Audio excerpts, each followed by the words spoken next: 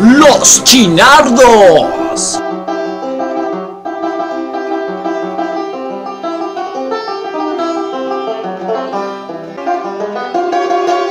Ey, chino, ¿no me das una cerveza IPA? ¿Una cerveza IPA? Y pa' ponerme en pedo, ¿entendés?